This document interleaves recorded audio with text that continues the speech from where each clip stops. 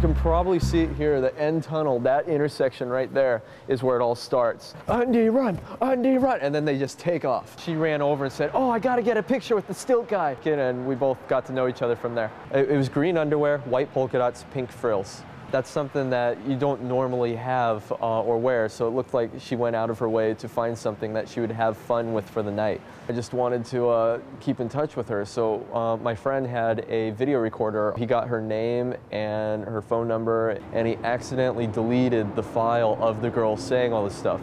That sucks because we were looking forward to hanging out with her again.